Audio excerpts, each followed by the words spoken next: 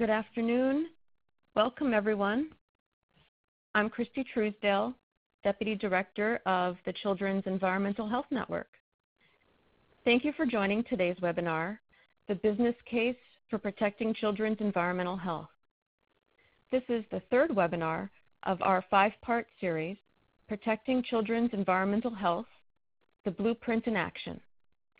Please make sure to join us for uh, the two remaining webinars, uh, the next one coming up in September on mobilizing society to protect children's environmental health, and the last one in our series in November about building the political will to protect children's environmental health.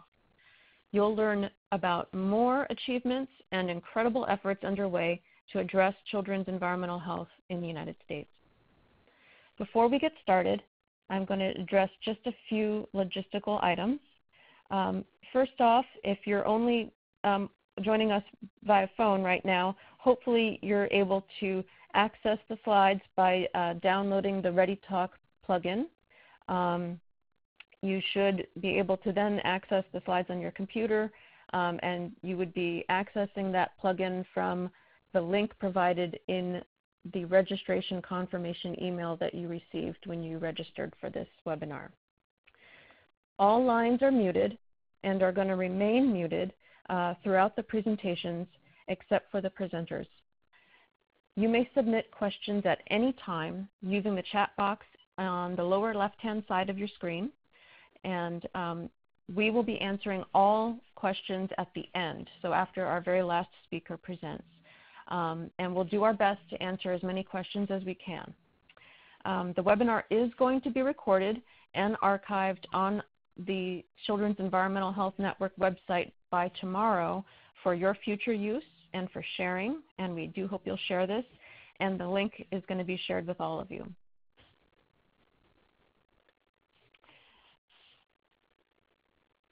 So I encourage you to expand the conversation online. Um, Share what you're learning from this webinar on Twitter using the hashtag Children at the Center. Lastly, a, a, brief evaluation survey is going to pop up at the end of this webinar. Please take a minute to complete the survey so that we can use your feedback and help make this webinar series as meaningful and helpful as possible to all of you. With that, uh, I'd like to introduce our moderator for this webinar, Nsedu Obot Witherspoon. Ms. Witherspoon is the Executive Director of the Children's Environmental Health Network, where she organizes, leads, and manages policy, education and training, and science-related programs. For the past 19 years, she has been a leader in the field of children's environmental health, serving as a past member of the NIH Council of Councils, on the Science Advisory Board for the Centers for Disease Control and Prevention, and the External Science Board for the Environmental Influences on Child Health Outcomes NIH research work. She is a co-leader for advancing the Science Health Initiative of the National Collaborative on a Cancer-Free Economy Network. Ms. Witherspoon is also a board member for the Pesticide Action Network of North America, the Environmental Integrity Project, and she serves on the Maryland Children's Environmental Health Advisory Council. Ense? Good morning and good afternoon, depending on where you're joining us from in the country. Thank you so much, Kristie, for all your wonderful work. Uh, again, putting together a wonderful webinar. Uh, the Children's Environmental Health Network, for those that don't know, we're a national nonprofit, uh, almost 30 years old here, and we have always had the same mission since our very first start out in uh, California. We're now in Washington, D.C., where our headquarters is. And that mission has always been to ensure that all children have the right to the safest and healthiest environments possible and we include the built, the biological, the chemical, and any physical environment where a child spends their time.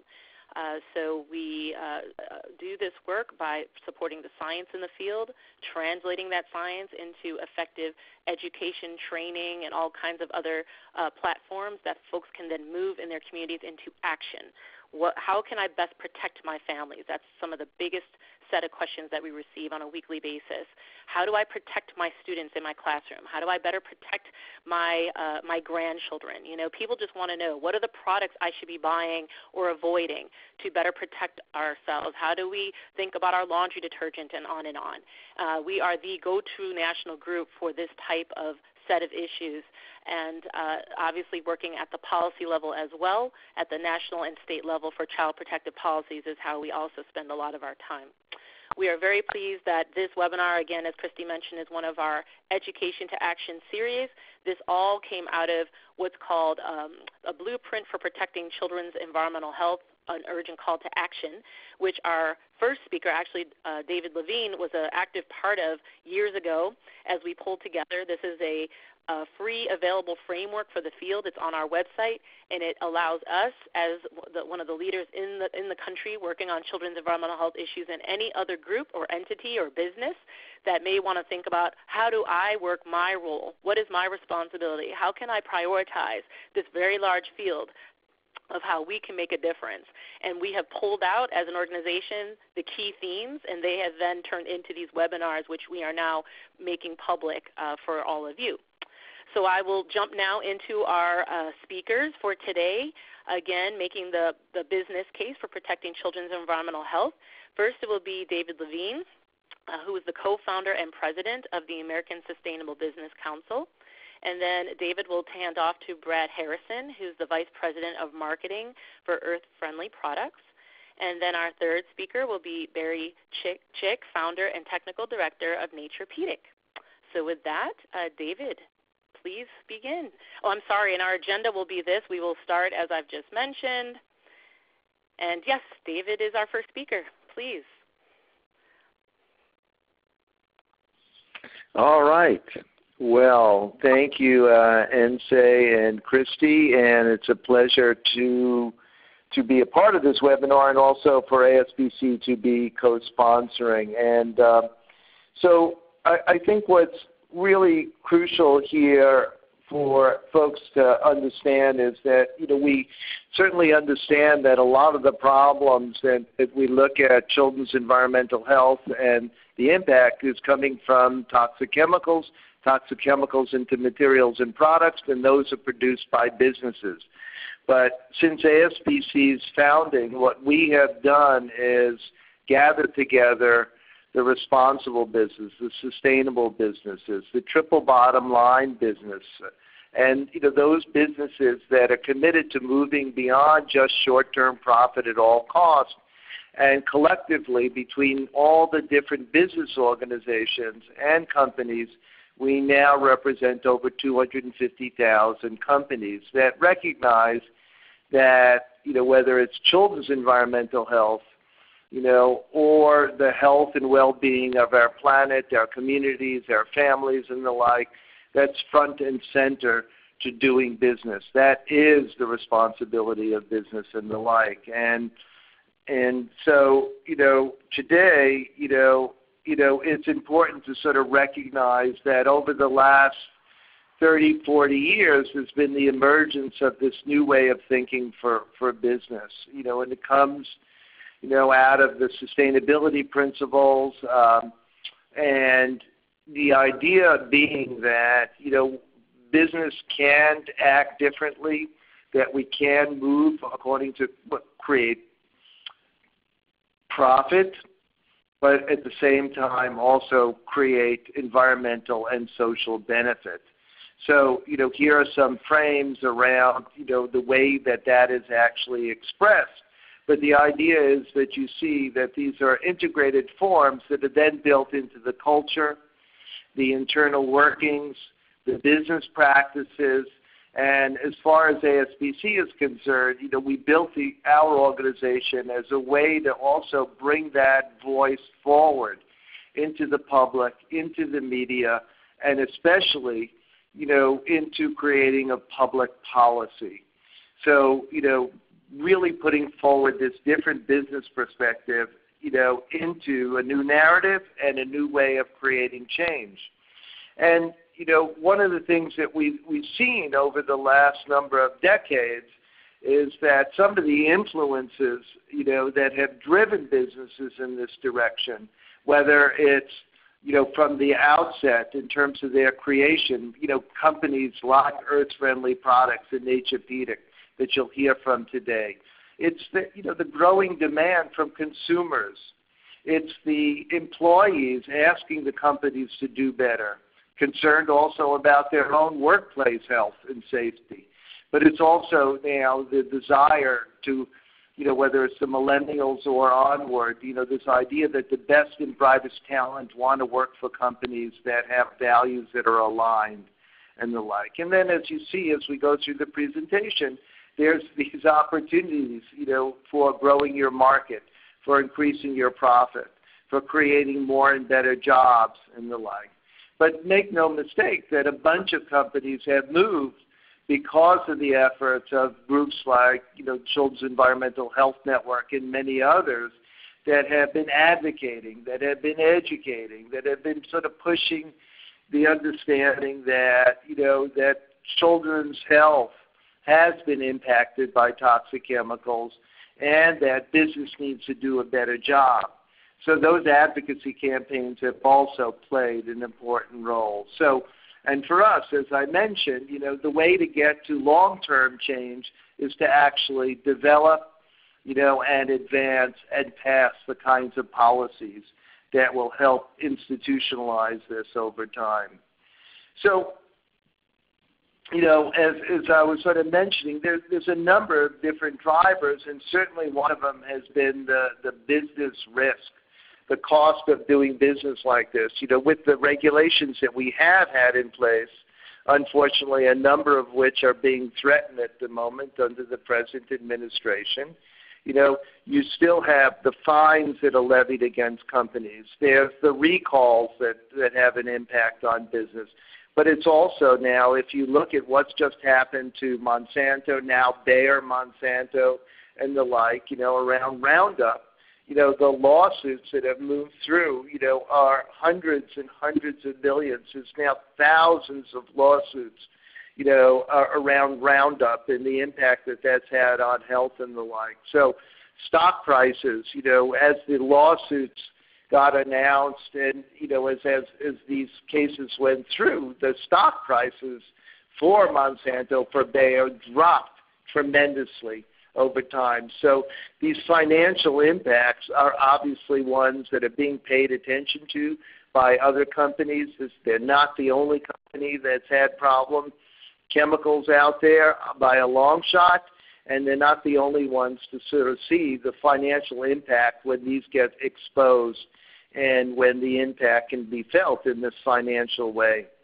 You know, but on the positive side, you know, what you also see that it, there's an incredible growth in in business opportunity and market opportunity. You know, if you look at building materials, you know, a 2,000% growth in green building materials over this this this you know 20 year period. You know, when you look at personal care products, you know, there's a 10 over 10% compounded annual growth rate right? Cleaning products, 20% compounded annual growth. And you can find a lot of this, you know, on the American Sustainable Business Council website. There's a, a full report that we did with a number of other groups on the business and economic case of safer chemicals. So you can feel free to use these resources as well. But clearly, you know, what there is is, you know, you know, companies that are smart enough to produce these products – you know, are being able to garner a larger share, and you see a much greater growth in companies producing safer, healthier products than you do with companies that are not. So as I was mentioning, you know, the uh, ASBC really does focus on on gathering the business community because why? Because you know, often what you hear is when policies are being debated, you know, and you want to move through regulatory uh, policies or incentivizing green chemistry and the like, the arguments that are being made against those policies are normally made by the business community. So in establishing ASBC, what we now have is a countervailing voice and power to actually advocate for the right kinds of policies. So right now in Congress, we are working to advance a sustainable green chemistry bill that would, you know, incentivize further research and development in green chemistry. You know, there is a circular economy and sustainable packaging bill looking at the impact of plastics on our health and our economy and the like. And so that we're working through at the California level and the like. Or, you know, when we have to, you know, we need to oppose the bad bills that are being pushed by those in industry that still want to operate with the old paradigm of short-term profit, do whatever you want at all costs. And that's one of those bills is the Accurate Labels Act, which is actually the opposite of that. And you know, this is a bill that is looking to sort of use the, the sort of the national platform of passing a policy in the order to override state policy that actually has in a number of states some stronger le- regulatory frameworks to protect children's health, families' health, the environmental health in general. But you know, the, you know, having the business voice out there is really crucial, and you can see that in whether it was the passage of the Toxic Substance Control Act and getting some of the benefits that we're able to sort of push through there, or ingredient disclosure bills in California and in New York, and companies like the companies we have on the phone today were really active in those campaigns. You know, also, it's also crucial to sort of look at some of the emergence of some of the additional tools that are out there. You know, you have the Safer Choice program that EPA has been running that is still intact. There's the Chemical Footprint Project, uh, Clean Production Action, the Pharos project that that you know is is working for the the building and construction industries. That's a great resource guide for products or Made Safe or the initiative that ASBC has with the Sustainable Furnishings Council, which is sort of asking consumers and businesses to say, what's it made of? What kind of impact is this going to have? So these voluntary programs and certifications and resources, you know, also play an important role in enabling business to do a better job as well. Um, additionally, you know, what we have sort of stepped forward to do in working with the Children's Environmental Health Network and a number of the other organizations that you see on this slide, you know, we have decided that it's really time to make the business case, but to also make the connection between the scientists, the cancer foundations that have been focused on the cure but not on the prevention piece of this, the environmental impacts, you know, the public health leaders, investors, and legislators bring all those communities together so we can actually make a concerted effort to to really protect the most vulnerable right? You know they don't have a voice in congress. They don't have a voice in state legislatures. The media isn't calling up the kids to talk to them about these issues. So we have a responsibility to do that. So asbc is helping to convene all these different players in order to advance this project. It will come out with a very strong report, we hope, in the fall, along with then, you know, advocacy work, PR work, you know, and other efforts to really articulate the connection between chemicals, business practices, and the opportunity to create greater health and well-being and the like. So feel free to be in touch if you want to engage on this initiative as well. So additionally, you know, what we'd say is there are a number of different ways in order to sort of have an, an impact in businesses to do a better job by, a, a, you know, evaluating their own supply chain, you know, adopting chemical policies internally, you know, looking at the, the, the value and to not only the company but the society and making that a part of their outreach, their communication, their education to their consumers, and the like. But also this idea of getting the multiple stakeholders working together in order to advance this issue and put it at the front burner that it needs to be. You know, this idea that, you know, we're not thinking about the generations to come by taking the immediate action now has got to shift.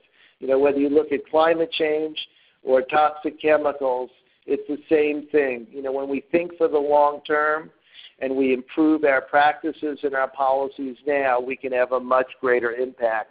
And what we really believe is that yes, business has been a part, a major part of the problem, you know, but now it's business's responsibility working with others to be part of the solution and the like. So, um, So we really appreciate this opportunity to sort of work with the Children's Environmental Health Network. And as you can see, there are a range of strategies that we're suggesting from policy to business innovation, investments, procurement, regulations, these metrics, the certifications, you know, and shifting the consumer dem- demand by education and their consumer and purchasing power and the like. But this idea here that now, you know, over the last number of years through ASBC and through the leadership of companies like the ones you're going to hear, you know, there really is now a business ally and a business voice and power advocating for children's health. So I'll stop with that. Thank you. And now we will uh, uh, turn it over to Brad Harrison uh, of Earth Friendly Products.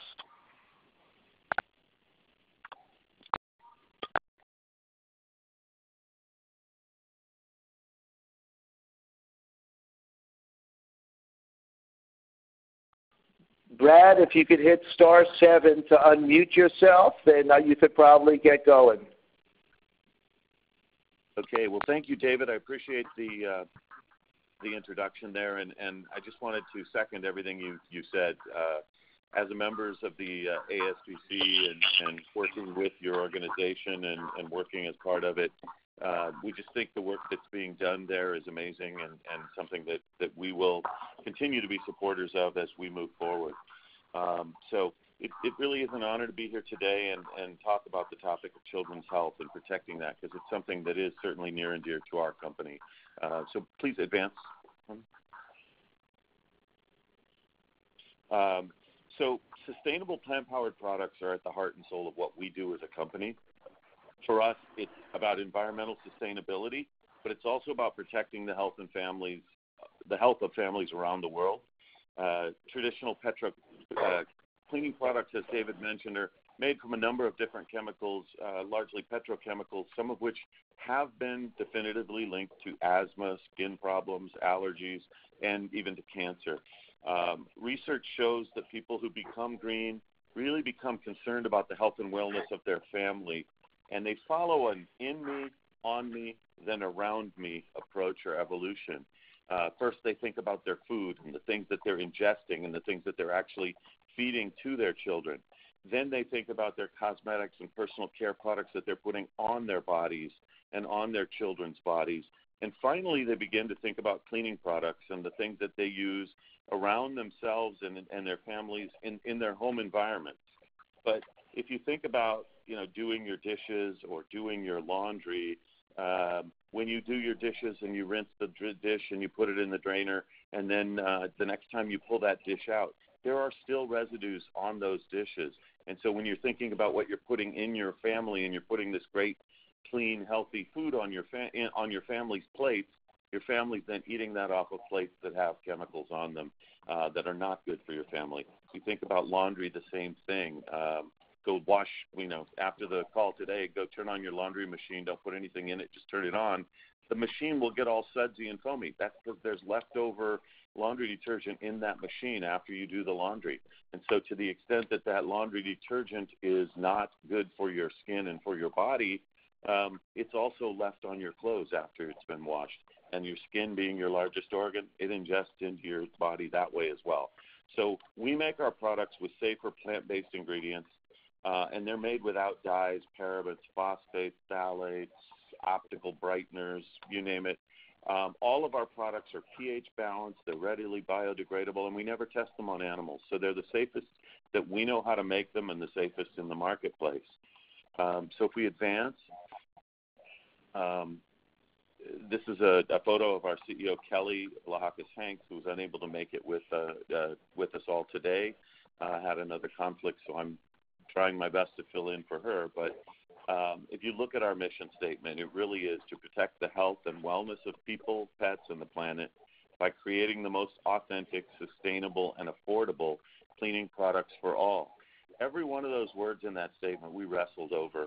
And words like affordable are really important to us because one of the challenges with greening up our environment and greening up our economy is lower income people are more susceptible to the problems of poor environmental and, and issues because they can't afford to buy their way out of it. So making products that are clean and green and are affordable to all is something that's really important to us. Um, so if we can just advance uh, one more time.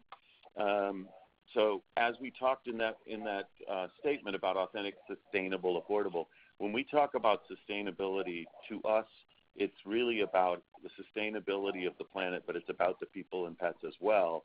And one of the, where we start with all that is the way that we manufacture our products. We're the only company in the world that has been able to achieve carbon neutral, water neutral, and zero waste. And if you take those three things and put them together, what we're trying to do is have the minimum, the minimalist footprint that we can possibly have on the environment, and we accomplish that by having as little waste as possible, as little impact on the water as possible, and as little impact on the air and the planet as possible through that, that carbon, water, and, and waste neutrality. Um, and so we've been a company that's been trying this and doing this for years. In fact, our company this year is 52 years old, which is three years longer than Earth. We've been around three years longer than Earth Day, three years longer than the EPA, and five years before the Clean Water Act. So we're really, and, and even uh, one more thing, we're twice as old as our nearest competitor. So we're a company that's been doing this for a long time, and, and we think we do it better than anyone. But yet every year we're working to do it better and better. Um, and so we have sustainable products and we have sustainable manufacturing processes. But what's most important, if you skip to the next page now, sorry. Um, what's most important to us is the sustainability of and safety for human life. And, and that's where we really get today to talking about the children and how we relate to our children. Today, we see increases in so many different health problems from chronic conditions like asthma and eczema and acute conditions like cancer and nerve and organ damage. We know today that one in eight women will get breast cancer in her lifetime. One in 12 will face difficulties breathing because of asthma. And this year alone, over 10,000 children under the age of 15 will be diagnosed from cancer. Not all of those due to household cleaners or chemicals, but if it's even one, that's too many for us. Um, what we do know is that there are definitive links between some of these toxic ingredients and cancers. And we know that. And so, from our perspective, until everybody is using clean, clean green ingredients and selling clean green cleaning products, there still is work to be done. And so, we'll continue to do that. Um, so, what can we do, which is really what today's about? And I want to get into that. Um, it's easy to feel hopeless. Um, and, and our CEO, Kelly, talks a lot about the experience that she had as a young girl at 14 when she found out her mother was diagnosed with breast cancer. Her mother struggled. She lived for a while, but she ultimately ended up dying of breast cancer. And from that experience, Kelly has taken on this mantle of we have to not just be sustainable for the environment, which is what her father founded this company on, but we also have to be sustainable for the people on the planet as well. And the ingredients have to not only be good for the environment, but good for the human health. And so, as a company, we can we're 100% committed to doing that. We also are 100% committed, then, as David mentioned, to partnering with people like the American Cancer Society, who we've partnered with now for the past eight years. Um, and helped raise tons of money and tons of awareness of the issues of chemicals in uh, in cleaning products. Um, so if we go to the next page, a um, couple things to talk about here, but thankfully, more than ever, consumers are finally catching on to all of this and are really thinking about what goes into the products that they bring into their homes. Today, more and more consumers are becoming what we call forensic consumers. They're searching for this information online before they bring it home and feed it to their children or clean the clothes that, that their children use. They're looking at reading those in, ingredients, and they have in the store with them this incredible device that's only been around for a few years, but this mobile phone that has really revolutionized your access to information. And so, what we want to see and really encourage continuing seeing more of is these forensic consumers using those phones wherever they are to learn the most they can learn and make the most educated, best um, consumer purchasing decisions that they can make. And we see more and more consumers doing that. One of the ways we help people is we're one of the um, leading supporters of safer choice. And David mentioned it a little bit earlier today, but uh, I'm proud to say that more of our products are US EPA Safer Choice certified than any other company. Um, we've twice been selected as their Safer Choice Partner of the Year. And the reason we're so involved in it is we think it's a great symbol for consumers to look for on our products. But the reason it's such a great symbol is that the US EPA created not just a system that ensures that these products have the safest ingredients, but they also require those products to be tested to meet high standards for performance and efficacy. So it really is a safer choice in terms of your literal safety for your family, but it's also a safe choice because you know it's going to work and work for you. Um, and the other thing that we love about the product is the third part of that uh, safer choice uh, certification is every one of our products which have been certified have to be recertified every three years, and every three years we have to show them that we've made progress and further improvements and kept up with the latest in green science. So we love the program in that it's a great symbol for consumers to look at. And that symbol and some of the others that David mentioned, we think it's important to help raise the awareness that those are out there to help people make decisions. But we still think it's important that they're looking on the back of the labels and finding out what those ingredients are and getting themselves familiar with what those ingredients are and what they do. So that, that's important to us. Um, so I can go to the next page now. The challenge has been that most products out there on the shelf do not tell you what's in them. It's been required by law for years for food, it's been required by law in cosmetics for a number of years, but only California recently as recently as 2017 and David talked about the Clean Product Right to Know Act that David and our company and a number of other companies got together and, and worked hard with the state of California to get passed. That law will be taking effect in the next couple of years, and when it does, it will require cleaning companies to put those ingredients on their packages. And the good news, in addition to what we've done in California, is there's now a law passed that has been passed but has been um, put up for uh, execution and, and, implementation in the state of New York as well.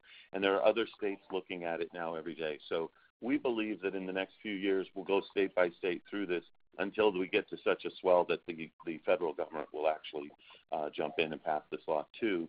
But the point is, it's a really important law for consumers, and we're excited about it. Um, so now that companies must embrace transparency, uh, we want consumers to demand that they do even more and to continue to push companies to do good and clean up, not just be transparent about what's in there, but we believe we believe when they have to present it on the package of what's in there that they'll also want to clean it up and create better products with better ingredients. Um, so we believe as a company, it's not the idea, and David talked about the triple bottom line for businesses that it's that it's important uh, to them. We believe being good and doing good with the environment and with the health of our consumers is actually good for business in both the short term and long term but at least and especially in the long term. And we believe that businesses have that responsibility, and you can even look at it and you know people who say businesses' only responsibility is to their shareholders. It is their responsibility to their shareholders to do these things because it's how they will maximize their profits for the long term. So, forgetting all the right and do good and do the right thing, it's right for businesses to do this. And, and we believe we're proving that every day with you know what we're able to do with sustainability in our manufacturing processes and in our ingredients, and we believe other companies can follow that um, as well. So, I guess as moving forward for as consumers today, the things that I think you can do are become a forensic consumer. Um, and have your family vote with their dollars for products that protect and enrich the health of your children and the environment. But don't just vote for your dollars, also vote, period. We need more of our government officials and more of our state and local and national um, uh, organizations to recognize the crisis that our planet and more importantly our children's planet is in right now. And whatever you do, all I would you know encourage you to do now is continue to, to, to be curious, continue to learn more, and continue to push those who have the power to fix this, whether that's business, government, or others, and continue to support all those nonprofits that are trying to fix it as well. And and that to me is is what we're doing in our company and what I would encourage you to do. Um, so if we can advance to the last page.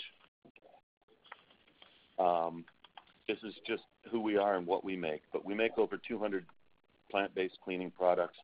150 of those are Safer Choice certified. 148 are Safer Choice certified. Um, we make the Ecos cleaning products. We also make baby Ecos products that are formulated for the sensitivities of infants and small children. Um, and we make a pets line because, again, we're about protecting people, pets, and the planet. So I'd love for you to buy our products, but whether you buy ours or some other green product, what I would really encourage you to do is please buy green, please buy smart, please use your dollars to reward the companies that do the right things and withhold them from the companies that don't. And that will further incent their activities to do more of what they should be doing. Um, we owe it to ourselves, we owe it to each other, and most importantly, we owe it to our children to create this planet that's a better place than we got it when they when we took it over. And right now, we're not doing that. So, everything we can do to help those children, I want to encourage all of us to do. So, thanks for the opportunity to speak, and I look forward to questions and answers.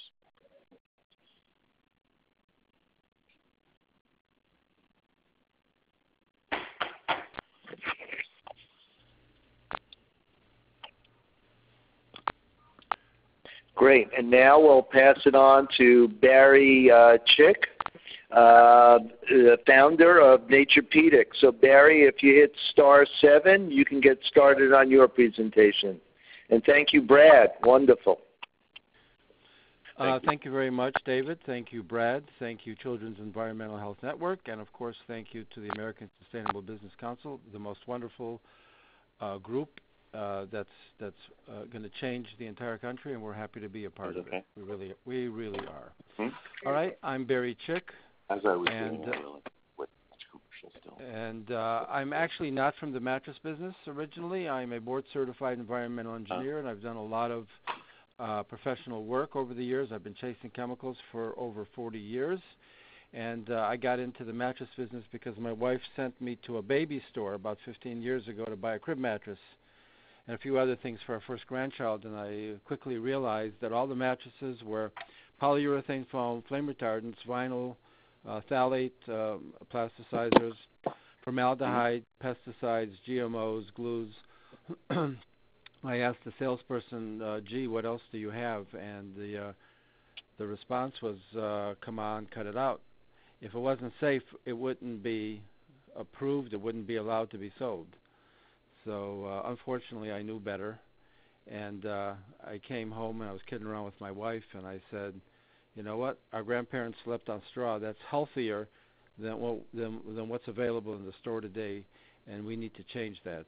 And that's how that's how Naturepedic started, uh, because we refused to let our grandchild sleep on all these toxic chemicals. So, meanwhile, the uh, public is changing, and the public wants safer products, uh, non-toxic products, organic products. And uh, if you look at the chart on the right, which is the important one here, you can see how uh, organic is growing. Uh, the blue is the organic food sales, unbelievably, great growth. And now you can see that the green, which is organic non-food sales, uh, including mattresses, is beginning to grow substantially as well. Uh, the non-food organic market is only a fraction, but there is of the organic market, but there's plenty of room for growth. And this is going to be where the where some of the biggest growth will be occurring. And this this covers uh, cleaning products like Brad just discussed, mattresses, which is what we do, and other such consumer products the question becomes, what's the cost of organic manufacturing? Is it really uh, is it really uh, a lot more expensive? So uh, here are a couple bullets you'll see in the, on the on the uh, on the bottom half. Uh, organic materials cost more, but the prices are getting closer to conventional every year. So yeah, uh, it does cost a little bit more, but it's really not that much more. And studies studies have shown that more and more people are willing to pay, you know, a little bit more um, for an organic product, whether it was 20 or 30 or 40 percent more. You know, if it's a really different, healthier product, the public is willing to pay for it, and we, uh, we for one, are able to make products that that can be relatively uh, um, comparable in price to to some of the mainstream products. In fact, in some cases, even less expensive. Um, organic certification adds an additional cost. Yes, that's correct um, and we have to incur that cost. But we, but when you, it gets to a point where it's not that big a deal. Uh, you, you're getting the volume, and it's it's fine. Uh, it is possible to make a competitively priced organic version of a product using better design, and that's part of the trick. Is if you stop and and you rethink the process as to how to design a product, uh, many times you can come up with a smart idea that's that's just as good price-wise and and much more environmentally friendly. Organ- uh, Naturepedic has been able to make an organic, competitively priced mattress product. Absolutely, the organic consumer product market grows steadily every year, and that's the case. Okay, uh, we started in about 2003. Uh, you know, with nothing. Uh, we invested the, our profits every year, right now we're well over $20 million a year. And basically, uh, all we did was make a good product and show it to the show it to the public. All right. Um, when you manufacture with organic and organic approved materials, you eliminate worker exposures to all kinds of hazardous toxic chemicals. So if you look at the left column, you know, on a typical mattress, um, you'll have waterproofing, you'll have antibacterial, uh, bacterial, antimicrobial. By the way, when you see something, a product that says antibacterial, you you think, oh, that's great. But what what they're not telling you is they, by law, they had to treat that product with a pesticide. Okay. So once you understand that that product has been treated with a pesticide, is that really what you want to sleep on, or is that really what you want your baby to sleep on? Uh, and it changes the once once the public becomes aware, it changes the entire thinking. All right, then there are flame retardants, flame barriers. People will tell you there's there's no flame retardants, it's just a flame barrier. Well, guess what? What do you think the flame barrier is made of? It's made of flame retardants. So, um, you know, people like like to play games with words, but uh, flame flame retardant chemicals are not the kind of thing that we like, and we won't use them, of course. Plastic softeners, phthalates, we don't use those things. Plastic hardeners, then there's various fill materials that, that are found. Uh, the big one is polyurethane foam, all kinds of problems with that, including formaldehyde and so on. Then there's plant fiber fill, but the problem there is most of the plant fiber fill is made with GMOs. We certainly would not use those kind of materials. And then there's many other kinds of uh, residual chemicals, vinyl chloride, dyes, heavy metals. All these kinds of things uh, are in the product okay, and they would be they would be hurting the workers who make these products. And these are typical things that are found in mattresses every single day. And and we realize that this this has to change. It has to change in a very big way, and we refuse to use any of those kinds of materials. Okay, so Naturepedic, was, I found it in 2003 when I went uh, into a store, and uh, I just would not would, could not agree to, to all those t- toxic chemicals. And uh, at the time, organic mattresses were just nothing more than miniaturized adult mattresses, which made no sense for babies. At the time, we were just doing baby mattresses. Today, of course, we do everything. So we set out to make Naturepedic, and it's grown and grown and grown. All right, here are some of the problems that uh, existed before Naturepedic came along, and same basic idea, but these are some of the, the basic problems. Polyurethane foam, volatile organic compounds are coming out of most mattresses. Polyvinyl chloride is on all, most baby mattresses. Flame retardant chemicals are in most mattresses, period. Polyfluorinated compounds, or PFCs, are waterproofing used on many baby mattresses. Pesticides are used on many mattresses genetically modified organism, organisms, GMOs, are all over the place. And then, of course, there are 86,000 chemicals in the marketplace, and you just don't know which chemicals are reacting with which other chemicals. You don't know what's causing cancer, What's causing this? What's causing that? It's a serious problem. All right. Um, polyurethane foam has been called solid gasoline, and because it's basically basically petroleum.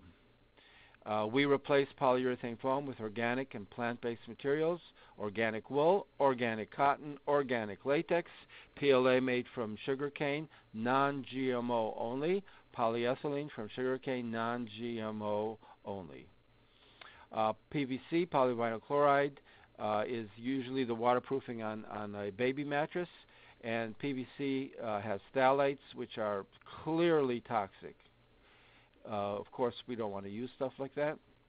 We don't. We replaced polyvinyl chloride with organic wool, organic cotton, non-GMO sugarcane, and non-GMO polyethylene. For the waterproofing, it's basically non-GMO polyethylene from sugarcane. All right, flame retardant chemicals are found everywhere, not just in your mattress. They're in your couch, they're in your upholstered chairs, uh, and so on. We, we do not use flame retardant chemicals.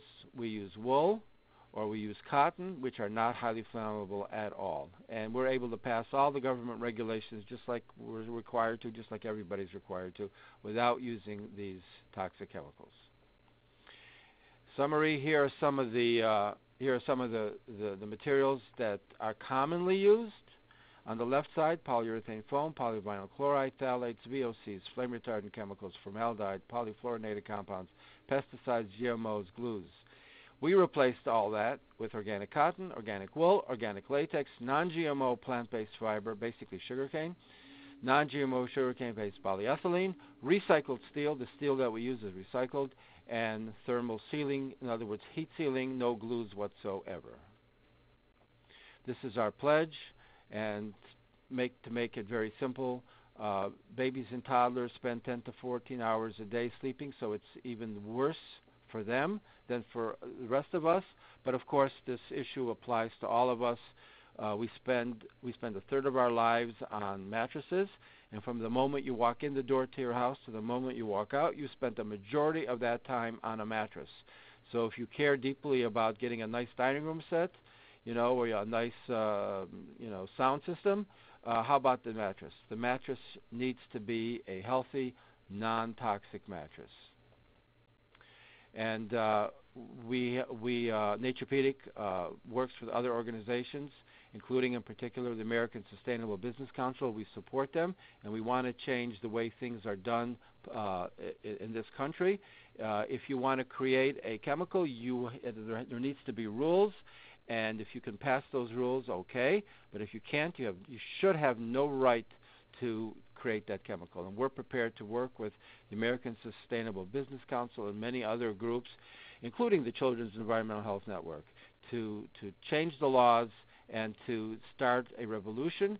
And it's time it's time for people to have non-toxic uh, uh, consumer products. Thank you very much. Thank you so much, Barry, and thank you again to David, Brad, and Barry. Really appreciate it. I think what's a, a very different type of discussion for our child health advocate audience, and hopefully uh, many others that we've been able to draw to this topic today.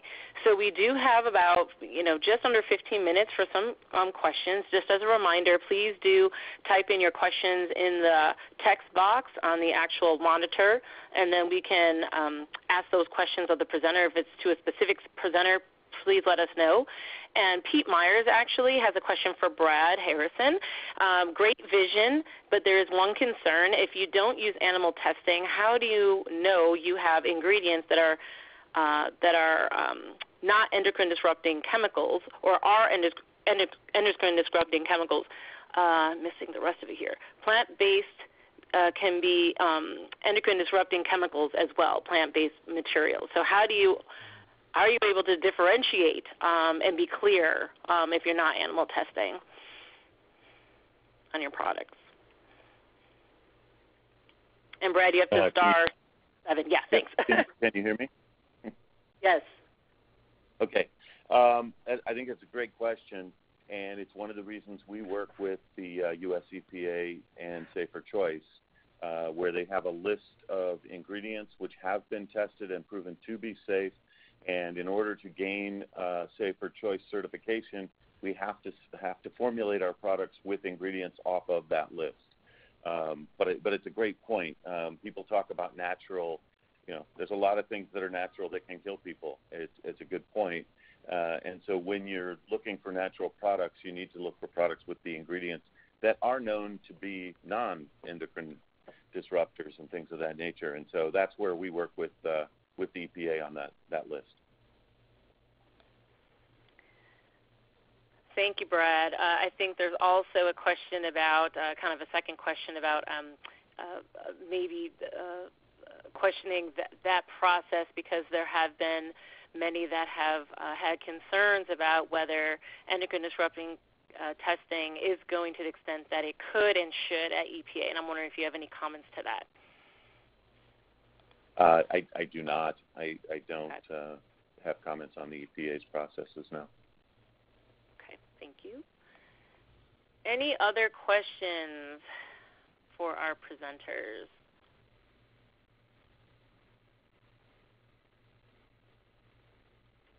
Please do type them in here.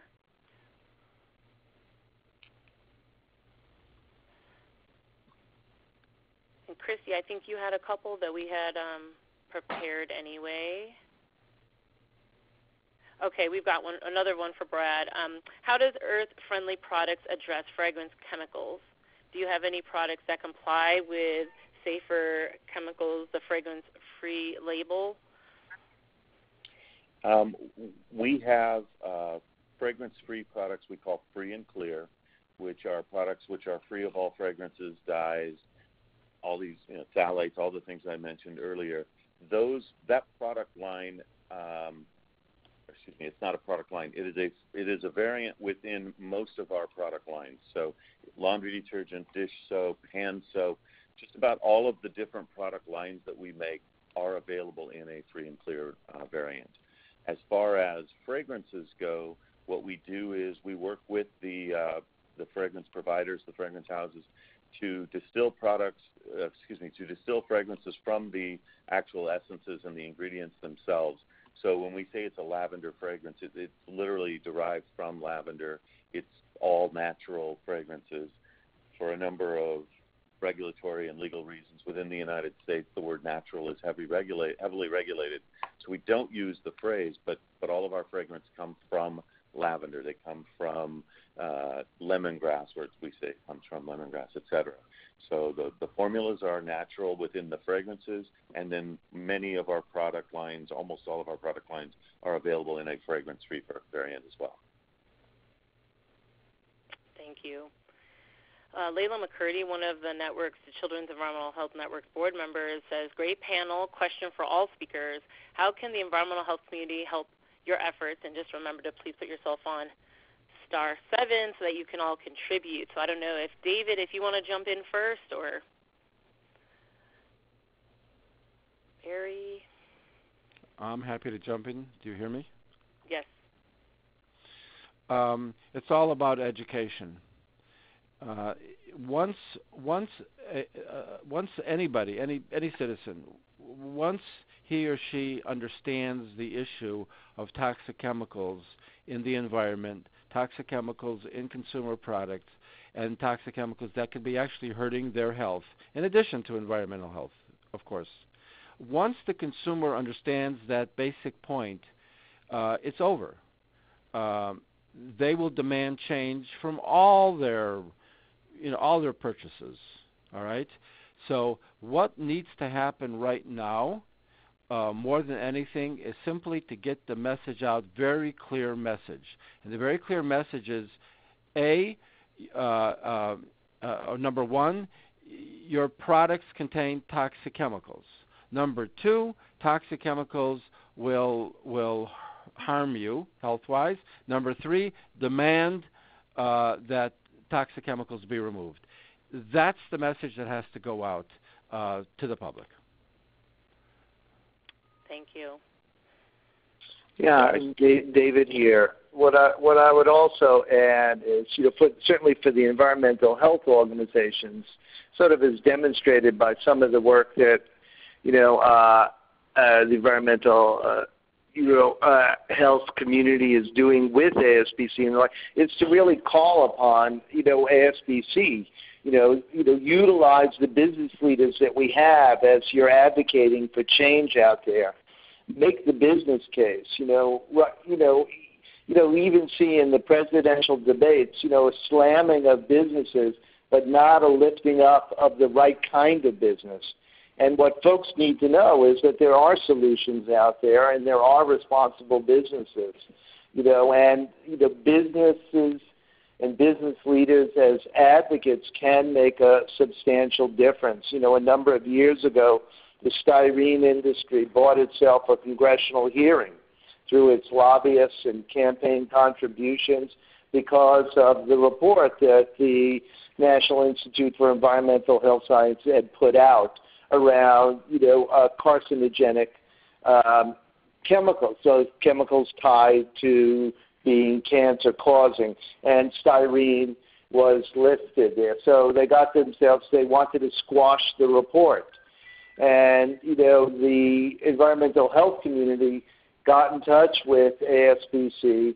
We were able to provide business leader that was able to testify at the hearings to basically say that there are safer alternatives out there, that there are companies that can produce you know, you know, chemicals that do what styrene does without causing the damage that styrene does. So being able to sort of work in partnership and utilize the business and economic perspective as a part of the rationale, uh, you know, you know, can go a long way because the report was not squashed and we were able to use that business case in order to counter the false business perspective that was being offered up by the styrene industry. Uh, this and this is Brad. Just to um, add on, I'm, I'm 99% aligned with uh, what Barry was saying. It's it's really what what you guys can do and what the environmental health community can do is educate um, what I would add to that is advocate, and and what I'm thinking specifically about is what I'm talking about today is you know the chemicals that you put into your home, the chemicals that you bring into your house, the quality of food that you're eating, the quality of cosmetics that you're using. All those things are important to you, but also think about what you're what you're living in most of your day at work. And is your work environment as healthy as it should be? And are are you working in healthy buildings? And are you you know the chemicals that you're having to manage and and deal with as a worker in your in your work environment ask your employers to do more and do better for you there as well um, and and I think that that really would will help as well but it, it really needs to go beyond what you buy to just where you live how you live and and wherever you go um, I think it was in Barry's presentation, but he talked about there's 86,000 untested chemicals out there. I think it's fair to assume that what's, what you're using contains things it probably shouldn't. And so you should be aware of everything that you're ingesting and using in and on and around your body throughout the day um, because there's an assumption that, well, if the government lets it go on the shelf, it must be good. And in fact, I think very little of what gets to the shelf is actually tested and approved by the U.S. government. Um, and I think that's a, a fallacy in our system of where we have a false sense of security. And I think Barry kind of called that out really well. That that's something that you need to be vigilant and advocate for yourself and educate yourself as a consumer, as a citizen, um, and that we would encourage all of that. Thank you. That point is really um, well um, speaks well uh, at the Children's Environmental Health Network, and we try to articulate that a lot and try to therefore, while many of our partners and and uh, uh, coalitions out there that we're a part of are actively trying to um, change that paradigm shift. It is a huge paradigm shift to change, and obviously educating our general public is just as vital because there are alternatives um, in many cases out there, and folks should be aware of them. There could be still barriers, as we talked about, even economic barriers at times, but at least knowing that there are alternatives and then looking at what your options are is vital. Um, David, there's one last question, maybe in the last 30 seconds, if you're able to come up with a, a, a quick answer. What business sectors are underrepresented in your association, and how might you be trying to engage? Com- I don't know if you want to call out companies or just sectors themselves. You know, if you were ideally able to fold in a few more top priority sectors out there into the American Sustainable Business Council. Who's kind of on your priority list if you could share any of that? Well, you know, right right now, I, I'd say you know one of the, the areas that we're trying to tackle because of the attention that it, it's getting, as well is really around plastics and sustainable packaging and the like. So I think you know it, it runs across all sectors, you know, but it's campaigns like that that I think give us an opportunity to to really coalesce a broad business message and a broad business movement that sort of raises these multiple issues. Because, right, you know, when looking at plastics, you're looking at the basic pollution, you're looking at the source materials of petroleum products and the chemical additives that are in there. You know, you're looking at the impact on climate as well. And so, you know, what we're trying to do then is look across sectors, bring them together, you know, around those kinds of campaigns that have got the public and the media attention at the moment and really sort of come up with the kinds of business solutions, you know, that, you know, would, would move us beyond the problem to the kinds of solutions to protect our broader public and environmental health. Well, I want to close us out. I want to again thank all three of our speakers. Thank you for taking the time. Thank you for uh, continuing to raise the bar, continuing to challenge your own organizations and, and your partners and those within your networks because we all know that there's much better out there um, and for continuing to set that bar. Thank you for continuing to consider the, the health and well-being of all children and especially the most vulnerable um, and uh, thank you all for participating today. And again, this will be archived. We do hope that you do fill out your evaluation and spread the archived version when available to other colleagues and friends and partners. Thank you all so much. Bye bye. Thank you. Thank you. Thank you.